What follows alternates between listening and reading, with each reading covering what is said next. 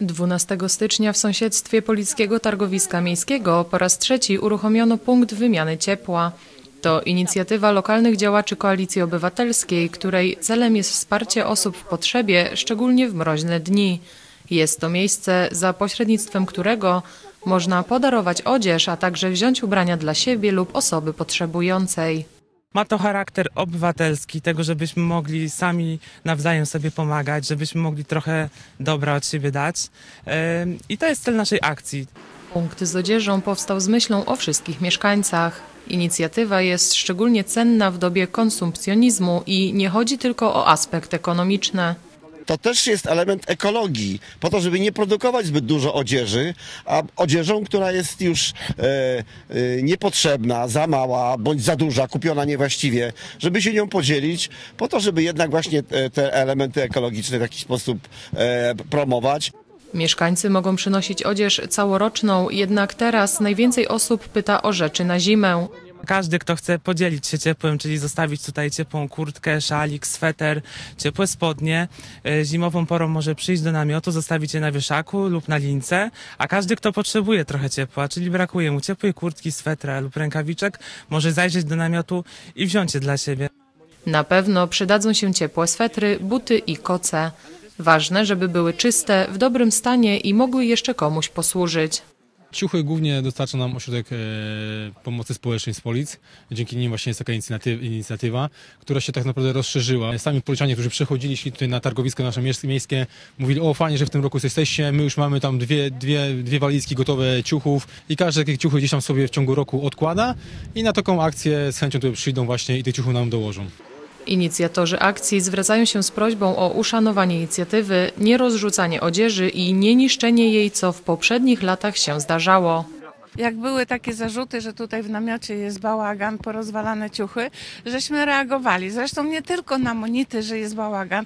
Bardzo często, kiedy ktoś szedł tutaj na zakupy, sprzątał, ale trzeba powiedzieć, prawda jest taka, że sprzątać można cały czas, a wiecznie będzie tutaj narozwalane. Proszę, jeśli ktoś wybiera rzeczy, proszę się nie wstydzić. Tu do, dla każdego jest coś do wzięcia. Nawet dla dziewczyn, które umieją sobie coś przerobić.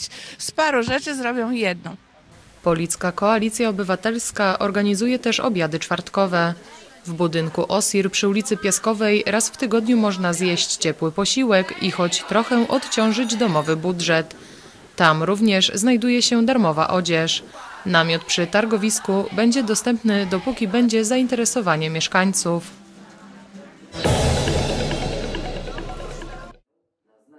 Obywatelski projekt nowelizacji Karty Nauczyciela z 2021 roku był jednym z pierwszych, jakie marszałek Szymon Hołownia wyjął z zamrażarki po ukonstytuowaniu się Sejmu dziesiątej kadencji.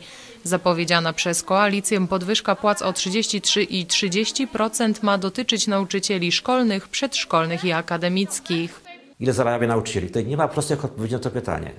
Bo prawdą jest, że nauczyciel może zarabiać i zarabiają tacy, w tym Gniepolice, po studiach ze stopniem magistra i wynagrodzenie wynosi na dzień dzisiejszy 3690 zł. Jak są wychowawcą, na przykład w przedszkolu, a tam są dwie panie, to ma 250 zł, a więc w sumie to jest mm, niecałe 4000 brutto, a więc na rękę około 2800. I mamy takich nauczycieli, a więc to nikt nie powie, że to jest dużo, W gminie Police niektórzy nauczyciele zarabiają więcej, ale wynika to z dużej liczby przepracowanych godzin. Proponowany w projekcie system wynagradzania ma uzależnić płace w zawodzie od przeciętnej kwoty wynagrodzenia w gospodarce narodowej. Ta zaś ma być podstawą dalszych wzrostów. te podwyżki, które planuje rząd, oczekiwane przez nauczycieli, spowodują to, no, że ten zawód stanie się bardziej atrakcyjny. Natomiast to jest też duże wyzwanie finansowe. Też taki paradoks jest w oświacie, jak w każdej innej firmie, nadgodziny to są płacone wyżej niż normalne. Przynajmniej tak samo. W oświacie jest tak, że nadgodziny są płacone mniej niż te tatowe. To jest taki paradoks. Wdrożenie podwyżek w gminie Police kosztowałoby ponad 10 milionów złotych rocznie. przypadku szkół podstawowych to 3,5 miliona złotych, a przedszkoli około 7 milionów. Czekamy, że mm, za zapowiedzią wzrostu wynagrodzeń y, też wzrośnie subwencja oświatowa oraz dodatkowe środki na przedszkoli, które nie są otrzymywane z subwencji, a więc czekamy na te pieniądze, a potem z chęcią gmina zrealizuje to, co nauczyciele powinni uzyskać. Planowane pensje nauczycielskie mają wzrosnąć o 30%, a nauczycieli początkujących o 33%. Jeśli wzrost wynagrodzeń byłby oparty na pensji minimalnej, to nauczyciel dyplomowany zarobiłby prawie 1400 zł brutto więcej. Średnie wynagrodzenie nauczycieli dyplomowanych ma wynosić ponad 9,5 tysiąca złotych brutto, mianowanego prawie 7,5 tysiąca, a nauczyciel po studiach otrzymałby ponad 6300 złotych.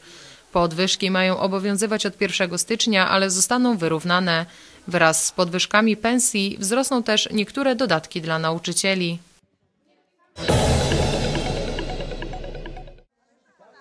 Trzynastego stycznia w pobliżu jeziora Bartoszewo odbyła się inauguracja kolejnego sezonu turystycznego.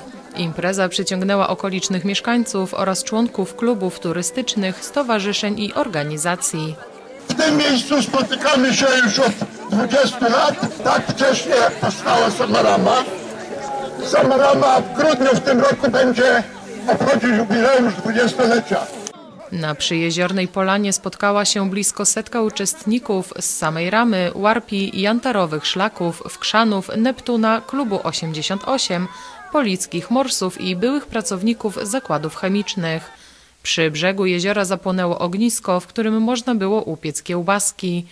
W dalszej części odbył się konkurs w rzucie choinką na odległość, w którym udział wzięło 12 chętnych.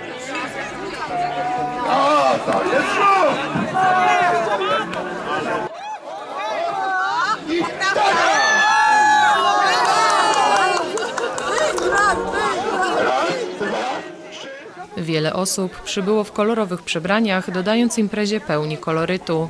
Wykonano też serię pamiątkowych zdjęć, które ozdobią niejedną kronikę.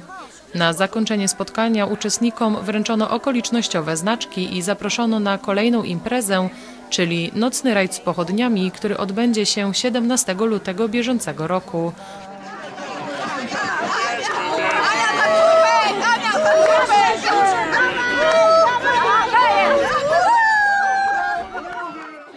Celem inauguracyjnego spotkania w Bartoszewie była popularyzacja turystyki jako jednej z form aktywnego, zdrowego wypoczynku, a także poznanie walorów Puszczy Wkrzańskiej i umocnienie serdecznych więzi wśród turystycznej braci.